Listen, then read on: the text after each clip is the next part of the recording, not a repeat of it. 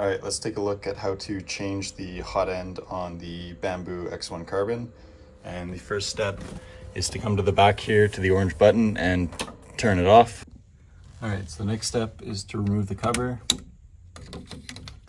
and just prop it up to the side.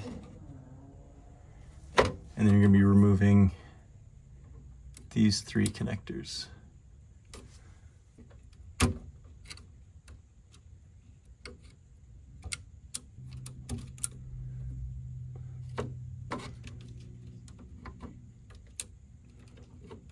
Pass them out of this wire organizer. Now we're going to loosen these two bolts using a two millimeter Allen key.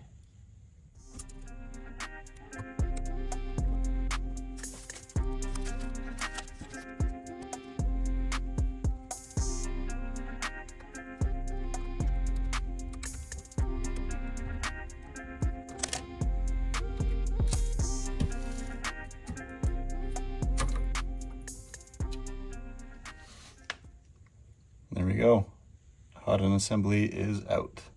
So now that you've gotten the hot end off, there's two scenarios. Either you bought a hot end without the ceramic heater and the thermistor already installed, or you bought a complete hot end assembly. If you bought a complete hot end assembly, you can skip to the next chapter and you basically just replace this with the one that you just took off. But let's take a look at how to swap all of these components onto the other hot end. We're to start by removing the fan, which is a two millimeter Allen key.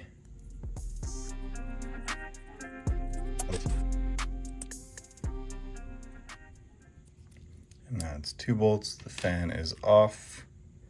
So that's step one. And then the next step is to remove this silicone sock. Oh, and we just removed the metal clip that goes with it. Let's try and see if we can move backwards on that.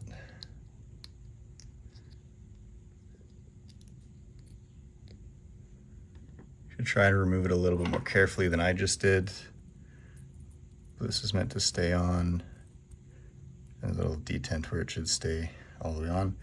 But once that sock is off, the next step would be to remove this clip and you can just pull that right off. And then we have the ceramic heater that comes off like that. Set that aside. And then we have the thermistor. You want to be careful with this guy. But that's just in that hole there on the side. Probably easier to use something like some needle nose pliers or some tweezers. And you can just pull it out. And we'll set that aside also. There you go. Now you got the bare hot end. This one's a 0.4. And we'll swap all these components onto the other hot end that we have here, which is a 0.2. There's a few locating features on this hot end. There's the thermistor hole on the left. So if that's on your left, then you know that the face facing you is the, the face you want to put the ceramic heater on. Um, also, the larger fins are going to be on the right. And so then you know where you are and you kind of have your bearings that way. So we're going to take some thermal grease and we're just going to squeeze that away from the top here so we don't get it all over our fingers right off the bat and then we're gonna cut it open. There's this little little tab where you can dispense from. So we'll just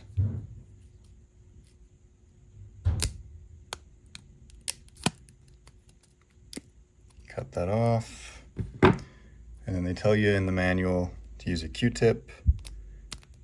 So we'll just get some of that out.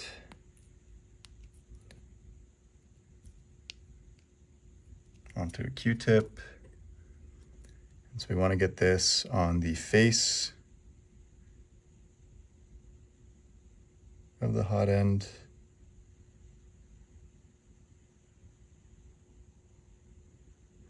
And then also some in that hole.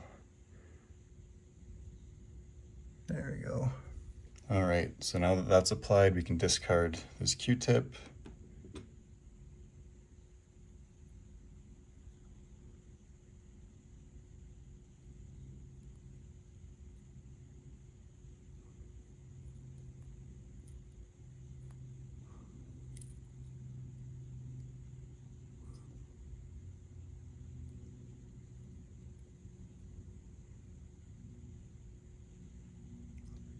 All right, so the thermistor's in. We've routed up the side here.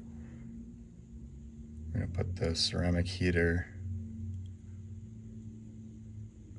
just down to that groove so kind of have a, some locating features in the hot end, which is nice.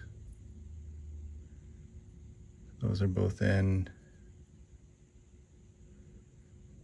And then we can put the clip on. So the clip has this little tab on the front and these reliefs on the side to allow the thermistor to have room. And you just slide that on until it won't go any further. You don't push too hard. That's what that looks like. And now we put the silicone sock back on. And so you've got the hole at the end and you got the relief for these wires that are sticking out. You don't have that on the other side. And we can just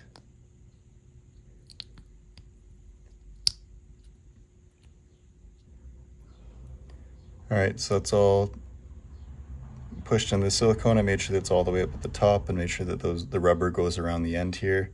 And the last step is just to put the fan back on the side here. So we'll go ahead and do that now.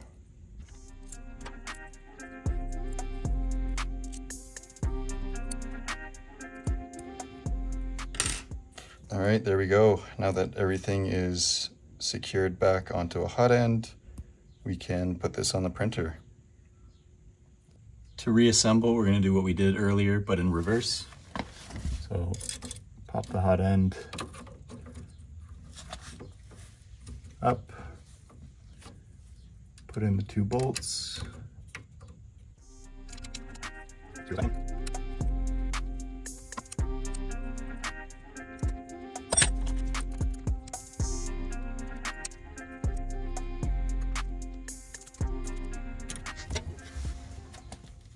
And then we can reinsert these connectors.